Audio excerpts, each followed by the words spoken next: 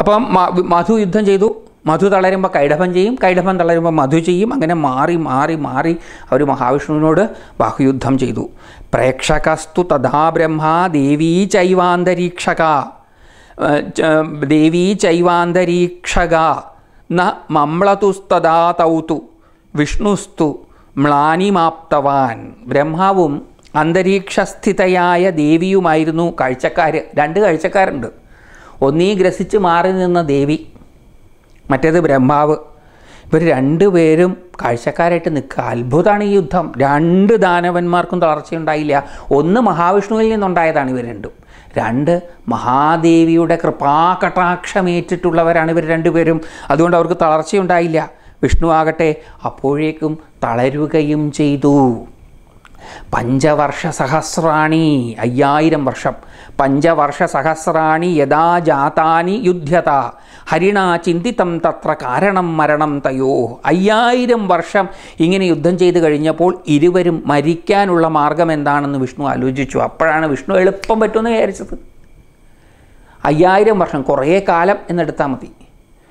നമുക്കുണ്ടാകുന്ന പ്രശ്നത്തെ പരിഹരിക്കുവാൻ കുറേ കാലമായി കഴിയുന്ന വിധത്തിലെല്ലാം പരിശ്രമിച്ചു കഴിഞ്ഞിട്ടും അത് ഇല്ലാതെയാകാതെ വരുമ്പോൾ നമ്മളിൽ വീണ്ടു വിചാരമുണ്ടാകണം.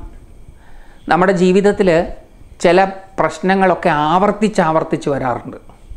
നമ്മൾ പലപ്പോഴും ജീവിത പ്രതിസന്ധികൾക്ക് മുമ്പിൽ എന്താ എനിക്കിങ്ങനെ? എനിക്ക് മാത്രം എന്താ ഇതിങ്ങനെ വീണ്ടും വീണ്ടും വീണ്ടും വരുന്നത് എന്നൊക്കെ ചിന്തിച്ച് ഇതി കർത്തവ്യതാമൂടരായിരുന്നിട്ടുണ്ട് ആ സമയത്ത് നമുക്കുണ്ടാകേണ്ടത് വീണ്ടും വിചാരമാണ്. വീണ്ടും വീണ്ടും വീണ്ടും സ്വപ്രയത്നത്തിന്റെ തളനിൽ തണലിൽ പ്രതിസന്ധികളെ ഇല്ലാതാക്കാൻ ശ്രമിക്കുകയല്ല വേണ്ടത്. പരമമായ ശക്തിയെ ആശ്രയിക്കുകയാണ് വേണ്ടത്. അയ്യായിരം വർഷം ഇങ്ങനെ യുദ്ധം ചെയ്ത് കഴിഞ്ഞപ്പോൾ ഇരുവരും അപ്പോഴാണ് മഹാവിഷ്ണുവിന് മനസ്സിലാകുന്നത് ശരിക്കും അത്ര എളുപ്പമല്ല ഇവരെ കൊല്ലുക ഇല്ലാതാക്കുക എന്നുള്ളത്.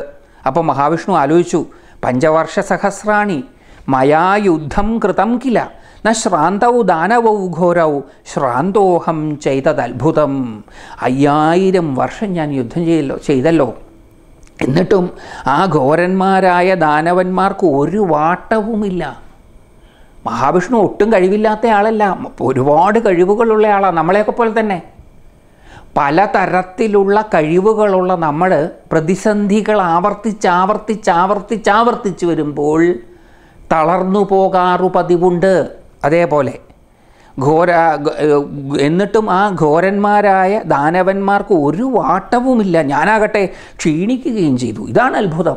എനിക്ക് പൊതുവെ അങ്ങനെ ക്ഷീണം വരാത്ത ആളാണ് ഞാൻ എത്ര സുരന്മാരെയാണ് ഇല്ലാതെയാക്കിയിട്ടുള്ളത്. ദേവന്മാരെ രക്ഷിക്കാൻ വേണ്ടിയിട്ട്. എനിക്കങ്ങനെ പൊതുവെ ക്ഷീണമൊന്നും ഉണ്ടാവല്ലോ ഒന്ന് കഴിഞ്ഞാൽ അടുത്തത് ഒരു ദൗത്യം കഴിഞ്ഞാൽ അടുത്ത ദൗത്യം. അങ്ങനെ ഇടയ്ക്കിടയ്ക്ക് ഇടയ്ക്കിടയ്ക്ക് എനിക്ക് ആവിർഭവിക്കേണ്ടി വരും. മാനവരാശിയുടെ നന്മയ്ക്ക് വേണ്ടിയിട്ടും ദേവന്മാരുടെ യഥാ യഥാഹി ധർമ്മസ്യ ഗ്ലാനിർഭവതി ഭാരത. അഭ്യുത്ഥാനം അധർമ്മസ്യ തദാത്മാനം സൃജാമ്യഹം. കൃഷ്ണൻ ഗീതയിൽ അർജുനോട് പറഞ്ഞതാണ് എപ്പോഴൊക്കെ എവിടെയൊക്കെ എങ്ങനെയൊക്കെ ധർമ്മത്തിന് ഗ്ലാനി വരുന്നുവോ ധർമ്മത്തിനൊരു ചെറിയ വാട്ടം സംഭവിക്കുന്നുവോ അപ്പോഴെല്ലാം ധർമ്മോദ്ധാരത്തിന് വേണ്ടി ഉദ്ധാരണത്തിന് വേണ്ടി ഞാൻ അവതരിക്കും. അങ്ങനെ ഇടയ്ക്കിടയ്ക്ക് ഇടയ്ക്ക് ഇടയ്ക്ക് ഇടയ്ക്ക് അവതരിച്ച് ശീലമുള്ള ആളാണ്. പല വേഷം കെട്ടി പലരുമായി അടരാടി വിജയത്തിന്റെ സ്വാദ് വേണ്ടുവോളം അനുഭവിച്ചിട്ടുള്ള ആളാണ് മഹാവിഷ്ണു. ഇവിടെ അതൊന്നും പറ്റിയില്ല. അയ്യായിരം വർഷം ഇവർ രണ്ടുപേരെയും മാറി മാറി ഇവരുമായിട്ട് മല്ലിട്ട് ഇവർക്കാണെങ്കിലോ ഒരു ക്ഷീണവും ഇല്ല. മഹാവിഷ്ണു ആണെങ്കിലോ ക്ഷീണിച്ചു പോവുകയും ചെയ്തു. ഇതാണ് മഹാവിഷ്ണുവിനെ പോലും അത് അത്ഭുതപ്പെടുത്തി. ക്വഗതം മേ ബലം ശൗര്യം കസ്മാച്ചേതാവനാമയൗ കിമത്ര കാരണം ചിന്ത്യം വിചാര്യ മനസാത്വിഹ. എവിടെ പോയി എന്റെ ബലവും ശൗര്യവുമെല്ലാം? ഇവർക്ക് എന്തുകൊണ്ടൊരു തളർച്ചയും ഉണ്ടായില്ല? ഇതിനെന്താണു കാരണം? ആലോചിക്കേണ്ട കാര്യമാണിത്. നമ്മളും. അടിക്കടി ഉണ്ടാകുന്ന പ്രതിസന്ധികളെ തരണം ചെയ്യുവാൻ പരിശ്രമം പല രീതിയിൽ ചെയ്തിട്ടും പ്രതിസന്ധികൾ വീണ്ടും വീണ്ടും ഉണ്ടാകുമ്പോൾ തളർന്നു പോകുന്ന നാമും ഇതേപോലെ ചിന്തിക്കേണ്ടതാണ് ആലോചിക്കേണ്ടതാണ് അവിടെ യുക്തി പ്രയോഗിക്കണം. എന്തുകൊണ്ടാണ് ഇവർക്കൊരു തളർച്ചയും ഇല്ലാത്തത്? എന്താണതിന് കാരണം? ഇത് ചിന്താപരം ദൃഷ്ട ഹരിം ഹർഷ പരാവുഭൗ. ഊചതുസ്തൗ മതോന്മത്തൗ മേഘഗംഭീര നിസ്വനൗ വിഷ്ണു ഇങ്ങനെ വിചാരമഗ്നനായത് കണ്ടിട്ട് ആഹ്ലാദഭരിതരും മതമത്തരുമായ ആ രണ്ടസുരന്മാരും ഇടിമുഴങ്ങുന്ന ശബ്ദത്തിൽ ഇങ്ങനെ പറഞ്ഞു. വലിയ സന്തോഷമായി രണ്ടുപേർക്കും. പാമ്പിന്റെ മുകളിൽ കിടക്കുന്നവനെ ഇപ്പം തീർക്കാം. ഇനി ഇതേ താമരപ്പൂവിലിരിക്കുന്നവനെയും തീർക്കാം. അപ്പോൾ ഇവർക്ക് സന്തോഷമായി ഇവർ മഹാവിഷ്ണു ഇങ്ങനെ ചിന്തിച്ചിരിക്കുന്നത് കണ്ടു. ചിന്താധീനരായിട്ടിരുന്ന മുഖത്തിനൊരു ചെറിയ വാട്ടുണ്ടാവും അപ്പോൾ ഇവർ അത് കണ്ടിട്ട് ആഹ്ലാദഭരിതരായി സന്തോഷമായി മതമത്തരായ രണ്ട് അസുരന്മാരും ഇടിമുഴങ്ങുന്ന ശബ്ദത്തിൽ വിഷ്ണുവിനോട് ഇങ്ങനെ പറഞ്ഞു. എന്താ പറഞ്ഞത്? തവനോ ചേത് ബലം വിഷ്ണു യതി ശ്രാന്തോസി യുദ്ധത ബ്രൂഹി ദാസോസ്മിവാനൂനം കൃത്വാ ശിരസി ചാഞ്ചലിം ഹേ വിഷ്ണു നിനക്ക് ശക്തിയില്ലെങ്കിൽ ഇല്ല എന്നാണ് ഞങ്ങൾക്ക് ബോധ്യപ്പെട്ടത്. ഇല്ലെങ്കിൽ യുദ്ധം ചെയ്ത് തളർന്നെങ്കിൽ തലയിൽ കൈ വെച്ചു കൂപ്പിക്കൊണ്ട് ഞാൻ നിങ്ങളുടെ അടിമയാണ് എന്ന് നിശ്ചയമായും പറയണം. കിഴ കിഴങ്ങണം നോചേത് അല്ലെങ്കിൽ നോചേത് യുദ്ധം കുരുഷ്വാദ്യ സമർത്ഥോസി മഹാമതേ ഹത്വാ ത്വാം നിഹനിഷ്യാവ പുരുഷം ച ചതുർമുഖം അല്ലെങ്കിൽ യുദ്ധം ചെയ്യാൻ ഒരുങ്ങിക്കൊള്ളണം. ഒന്നുകിൽ കീഴടങ്ങണം. അല്ലെ യുദ്ധം ചെയ്യാൻ ഒരുങ്ങിക്കൊള്ളണം. ബുദ്ധിയുള്ളവനെ നിനക്ക് അതിന് കഴിവുണ്ടല്ലോ. ബുദ്ധിയുള്ളവനും കൂടിയാണ് മഹാവിഷ്ണു. വെറും ബലത്തിന്റെ മുകളിൽ ഊറ്റം കൊള്ളുന്നവൻ അല്ല മധുകൈടവന്മാരെ പോലെ. ഇപ്പോൾ ബുദ്ധിയുള്ളവൻ കൂടിയാണ്. ബുദ്ധിയുള്ളവനെ നിനക്ക് അതിന് കഴിവുണ്ടല്ലോ. നിന്നെ കൊന്നിട്ട് വേണം ആ നാല് മുഖമുള്ളവനെയും കൊല്ലാൻ നാല് കൈയുള്ള നിന്നെ കൊന്നിട്ട് വേണം നാല് മുഖമുള്ള മറ്റവനെയും തട്ടാൻ. അന്ന് കഴിഞ്ഞാൽ ഒരാൾ പാമ്പിന്റെ മുകളിലും കിടക്കും മറ്റേ ആൾക്ക് താമരപ്പൂവിലിരിക്കും. താമരപ്പൂവിലിരുന്ന് മടുത്തു കഴിഞ്ഞാൽ ആ ആൾ പാമ്പിന്റെ മുകളിലേക്ക് വരും പാമ്പിന്റെ മുകളിലിരിക്കുന്ന ആൾ താമരപ്പൂവിലേക്കും പോകും അങ്ങനെ രണ്ടെണ്ണത്തിനും ശരിയാക്കുന്നുണ്ട്. ശ്രുത്വാ തദ്ഭാഷിതം വിഷ്ണുസ്തയോസ്തസ്മിൻ മഹോദധൗ. ഉവാച വചനം ശ്ലക്ഷണം സാമപൂർവം മഹാമനാ. മഹാബുദ്ധിമാന്മാരെ മുനിമാരെ അഭിസംബോധന ചെയ്യുന്നതാണ് സൂതൻ. മഹാബുദ്ധിമാന്മാരെ മഹാസമുദ്രത്തിൽ വെച്ച് ആ അസുരന്മാരുടെ ഭാഷണം കേട്ട വിഷ്ണു അവരോട് അനുനയ രൂപത്തിൽ ശാന്തമായി ഇങ്ങനെ പറഞ്ഞു. ശാന്തമായിട്ടാണ് പറഞ്ഞു അവിടെയും മഹാവിഷ്ണു രോഷാകുലനായില്ല. ജീവിതത്തിൽ പ്രതിസന്ധികൾ വന്നു വെല്ലുവിളിക്കുമ്പോൾ സമചിത്തത കൈവിടാതിരിക്കാൻ കഴിയുന്നതും ശ്രദ്ധിക്കണം. സമചിത്തതയോടെ പ്രതിസന്ധികളെ നേരിടുമ്പോഴാണ് അവയെ മറികടക്കുവാൻ സാധിക്കുക. ഈ സമചിത്തത എങ്ങനെ ഉണ്ടാവുക? സമതി സമചിത്തത ഈശ്വരനെ പരമമായതിനെ തിരിച്ചറിയുമ്പോൾ ഉണ്ടാകുന്ന ഈശ്വരപ്രസാദത്തിലൂടെയാണ് ഉണ്ടാവുക. അതുകൊണ്ട് ജീവിത വിജയത്തിന് അനിവാര്യമായതാണ് ഈശ്വരാനുഗ്രഹം. യാതൊരു സംശയവും ആ കാര്യത്തിലില്ല. ഈശ്വരാനുഗ്രഹമില്ലാത്തവന്റെ പ്രയത്നം പാഴ്പ്രവർത്തനമാണ് പാഴ്വേലയാണത്. അതുകൊണ്ട് വലിയ ഗുണമൊന്നും ഉണ്ടാവുകയില്ല. അപ്പോൾ ഇവിടെ മഹാവിഷ്ണു വളരെ ശാന്തനായിട്ട് ഇത് കേട്ട ഉടനെ ആ കോപത്തെ പ്രതിധ്വനിപ്പിക്കുകയല്ല ഇവർ ചെയ്തത്. ആ മതഗർവത്തെ പ്രതിധ്വനിപ്പിക്കുകയല്ല മഹാവിഷ്ണു ചെയ്തത്. മഹാവിഷ്ണു അനുനയ രൂപത്തിൽ സാമപൂർവം ശാന്തനായിട്ട് ദേഷ്യം കുട്ടുംബിരി കൊണ്ട് നിൽക്കുന്ന ഒരാളോട് ശാന്തമായി സംസാരിച്ചാൽ ഈ ശാന്തത സംക്രമിക്കും. അയാൾ അയാളുടെ ദേഷ്യം പതുക്കെ പതുക്കെ കുറഞ്ഞു വരുന്നത് നമുക്ക് കാണാൻ സാധിക്കും. അപ്പോൾ ദേഷ്യം കൈവിട്ട് വേണം സംസാരിക്കാൻ. ഇത് വീട്ടിലുമൊക്കെ നമുക്ക് പ്രയോഗിക്കാവുന്നതാണ്. ഭാര്യ വല്ലാതെ ദേഷ്ട ദേഷ്യപ്പെട്ട് നിൽക്കുമ്പം അനുനയപൂർവം ഭർത്താവ് സംസാരിക്കുക. ഭർത്താവ് രോഷാകുലനായി നിൽക്കുമ്പോൾ അനുനയപൂർവം ഭാര്യ സംസാരിക്കുക. അച്ഛനമ്മമാർ രോഷാകുലരാകുമ്പോൾ മക്കളും മക്കൾ രോഷാകുലരാകുമ്പോൾ അച്ഛനമ്മമാരും സുഹൃത്തുക്കളും ഒക്കെ ഇങ്ങനെ ഈ ഒരാശയത്തെ സ്വാംശീകരിച്ചു നടപ്പിലാക്കാൻ ശ്രമിക്കാൻ തുടങ്ങിയാൽ തന്നെ എത്രയോ ഡൈവേഴ്സുകൾ ഇല്ലാണ്ടാകും എത്രയോ കുടുംബ കലഹങ്ങളില്ലാതെയാകും എത്രയോ കോടതി കേസുകൾ ഒത്തുതീർപ്പാകും. അപ്പോൾ ഇതിലെ ഒരാശയം ഒന്നെടുത്ത് നടപ്പിലാക്കിയാൽ മതി. എളുപ്പമല്ല ഇതൊന്നും. പറയാൻ എളുപ്പമാണ് ചെയ്യാൻ അത്ര എളുപ്പമല്ല. അങ്ങനെ എളുപ്പമാകണമെന്നുണ്ടെങ്കിൽ ഈശ്വരാനുഗ്രഹം വേണം.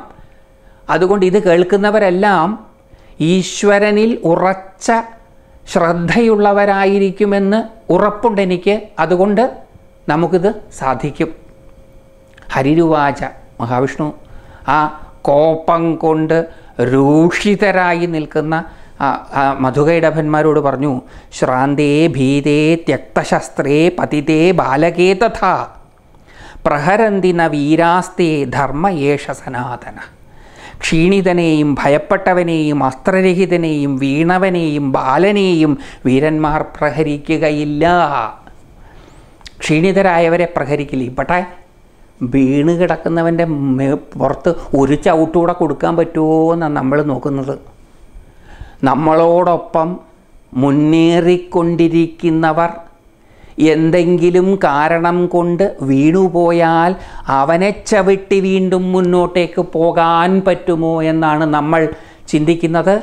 അതല്ല ധർമ്മം. ധർമ്മം എന്താണ്? ക്ഷീണിതനെയും ഭയപ്പെട്ടവനെയും അസ്ത്രരഹിതനെയും പ്രയോഗിക്കാൻ കയ്യിലൊന്നുമില്ലാത്തവനെയും വീണവനെയും വീണ് കിടക്കുന്നവൻ. വലിയ പദവിയൊക്കെ ഉണ്ടായിരുന്നു അവിടുന്ന് വീണുപോയി. അങ്ങനെ വീണ് കിടക്കുന്നവൻ ബാലൻ വലിയ അറിവൊന്നുമില്ലാത്തയാൾ ഇവരെ ഒന്നും വീരന്മാർ പ്രഹരിക്കുകയില്ല. ഇവിടുത്തെ വീരശിരോമണികളെല്ലാം ഇങ്ങനെയുള്ളവരെ മുതലെടുത്തിട്ടല്ലേ പലരുമായത് എന്ന് ഈ അവസരത്തിൽ ഒന്ന് ചിന്തിക്കേണ്ടതാണ്. അവരോട് യുദ്ധം ചെയ്യുകയില്ല. അത് നിത്യമായ ഒരു നിയമമാണ്. സനാതനമായ നിയമമാണ്. ഈ നിത്യമായ നിയമങ്ങളൊക്കെ ഇപ്പോൾ ദുരയുടെ പശ്ചാത്തലത്തിൽ അത്യാർത്തിയുടെ പശ്ചാത്തലത്തിൽ മനുഷ്യൻ നിരന്തരം ലംഘിച്ചു കൊണ്ടിരിക്കുന്നത് കൊണ്ടല്ലേ? പ്രകൃതി ഒരു ഓർമ്മക്കുറിപ്പായി മഹാമാരിയെ നമ്മുടെ ജീവിതത്തിലേക്ക് കടത്തിവിട്ടത് എന്ന് ചിന്തിക്കേണ്ടുന്ന ഒരു സമയവും കൂടിയാണ് ഇത്. അവന്റെ മതത്തിൽ ഗർവിതനായ മനുഷ്യൻ മനുഷ്യന്റെ കഴിവുകളിലും ബലത്തിലുമൊക്കെ അതിഗർവ് പൂണ്ടിരുന്ന മനുഷ്യനെ ഒന്ന് വിനയാൻവിതനാക്കാൻ. പ്രകൃതി സ്വരൂപിണിയായ പരാശക്തി പരിശ്രമിച്ചതല്ലേ ഈ മഹാമാരി എന്ന് ഈ അവസരത്തിൽ ഒന്ന് ചിന്തിക്കേണ്ടതാണ്. ക്ഷീണിതനെയും ഭയപ്പെട്ടവനെയും അസ്ത്രരഹിതനെയും പ്രയോഗിക്കാൻ ഒന്നും കയ്യിലില്ലാത്തവൻ പ്രത്യേകിച്ച് കഴിവുകളൊന്നുമില്ലാത്തവൻ വീണവൻ. പണ്ട് വലിയ ഉയർന്ന പൊസിഷനിലൊക്കെ ആയിരുന്നു വീണുപോയി. അവനെയും ബാലൻ വലിയ ലോകപരിചയമൊന്നുമില്ലാത്തവർ. അവരെ ഒന്നും വീരന്മാർ പ്രഹരിക്കുകയില്ല. അവരെ ഒന്നും മുതലെടുത്ത് കാര്യങ്ങൾ ചെയ്യാൻ ശ്രമിക്കുകയില്ല. പഞ്ചവർഷ സഹസ്രാണി വിഷ്ണു തുടരുകയാണ്. പഞ്ചവർഷ സഹസ്രാണി കൃതം യുദ്ധം മയാത്വിഹ ഏകോഹം ഭ്രാതരൗ വാം ച ബലിനൗ സദൃശൗ തഥാ. മഹാവിഷ്ണു സൂത്രശാലിയും കൂടിയാണ് മഹാവിഷ്ണു. മഹാവിഷ്ണു സൂത്രം പ്രയോഗിക്കുകയാണ്. ഞാൻ ഇവിടെ അയ്യായിരം വർഷമായി യുദ്ധം ചെയ്യുന്നു. ഞാൻ ഒറ്റയ്ക്കേ ഉള്ളൂ. നിങ്ങളോ തുല്യ ബലവാന്മാരായ രണ്ട് സഹോദരന്മാരാണ്. കൃതം വിശ്രമണം മധ്യേ യുവാഭ്യാം ച പുനഃ പുനഃ തഥാ വിശ്രമണം കൃത്വ യുദ്ധേഹം നാത്ര സംശയ. നിങ്ങൾ മാറി മാറി ഇടയ്ക്കിടയ്ക്ക് വിശ്രമിച്ചിട്ടാണ് എന്നോട് യുദ്ധം ചെയ്തത്. അയ്യായിരം വർഷമാണ് ആകെ യുദ്ധം. അതിൽ നിങ്ങൾ രണ്ടായിരത്തഞ്ഞൂറ് വെച്ചേ ചെയ്തിട്ടുള്ളൂ. ഞാൻ അയ്യായിരം വർഷം ചെയ്തു. അതുകൊണ്ട് എനിക്ക് സ്വാഭാവികമായിട്ടും ക്ഷീണം ഉണ്ടാവും. അതുകൊണ്ട് ഞാൻ കുറച്ച് വിശ്രമിക്കട്ടെ. എന്നിട്ട് നിങ്ങളോട് യുദ്ധം ചെയ്യാം. സംശയിക്കേണ്ട. തിഷ്ഠതം ഹി യുവാം താവത് ബലവന്തൗ മതോത്കടൗ. വിശ്രമ്യാഹം കരിഷ്യാമി. യുദ്ധം വാ ന്യായമാർഗത. മതമത്തരും ബലവാന്മാരുമായ നിങ്ങൾ ഞാൻ വിശ്രമിച്ച് കഴിയും വരെ കാത്തു നിൽക്കിൻ. നിങ്ങൾക്കും ഒപ്പം വിശ്രമിക്കുകയാണല്ലോ. അപ്പം നിങ്ങൾക്കും കരുത്ത് കൂടുതൽ ആർജിക്കും. വിശ്രമിച്ചിട്ട് ഞാൻ ധർമാനുസൃതമായി നിങ്ങളോട് യുദ്ധം ചെയ്യാം. വിശ്രമിച്ചിട്ട് ഞാൻ നിങ്ങളെ വെല്ലുവിളി സ്വീകരിച്ച് വീണ്ടും യുദ്ധം ചെയ്യാം. ലോജിക്കലായിട്ട് സംസാരിക്കുകയാണ്. ശാന്തമായി ലോജിക്കലായിട്ട് സംസാരിച്ചാൽ യുക്തി സഹമായിട്ട് സംസാരിച്ചാൽ വികാര തീവ്രതയിൽ വിചാരമില്ലാതെ നിൽക്കുന്നവർക്ക് വിചാരോദയം ഉണ്ടാകും. സൂത ഉവാച. ഇതി ശ്രുത്വാ വചസ്തസ്യ വിശ്രബ്ധൗ ദാനവോത്തമൗ സംസ്ഥിതൗ ദൂരതസ്തത്ര സംഗ്രാമേ കൃതനിശ്ചയൗ. ഇങ്ങനെ അദ്ദേഹത്തിന്റെ വാക്ക് കേട്ട് വിശ്വസിച്ചിട്ട് വാക്ക് കേട്ടപ്പോൾ ലോജിക്കലാണ് ശരിയാണല്ലോ. സംഗതി ശരിയല്ലേ? ശരിയാണ്. അപ്പോൾ രണ്ട് ദാനവശ്രേഷ്ഠന്മാരും സമ്മതിച്ചു. അവർ രണ്ട് ദാനവശ്രേഷ്ഠന്മാരും സമ്മതിച്ചിട്ട് മാറി നിന്നു. എങ്ങനെയാണ് മാറി നിന്നത്? ഇനി യുദ്ധം ചെയ്യണമെന്ന തീരുമാനത്തോടു കൂടി അവർ ദൂരെ മാറി നിന്നു പോയൊന്നുമില്ല. അവിടെ ഓരോ ഓരത്ത് മാറി നിന്നു ഇങ്ങനെ ഒന്ന് റെസ്റ്റ് എടുത്ത് തീരുന്നത് വരെ. ആ സമയം നോക്കി കൊല്ലണം എന്നുള്ള ആഗ്രഹം ആഗ്രഹമുണ്ടുള്ളൂ രണ്ടെണ്ണത്തിനെയും തട്ടണം. എന്നിട്ട് പാമ്പും താമരയും സ്വന്താക്കണം. പക്ഷെ അതിനു വേണ്ടി എന്തും ചെയ്യാൻ തയ്യാറല്ല. നമ്മളോ? ഇതൊക്കെ ഈ അവസരത്തിൽ ചിന്തിക്കേണ്ടതാണ്.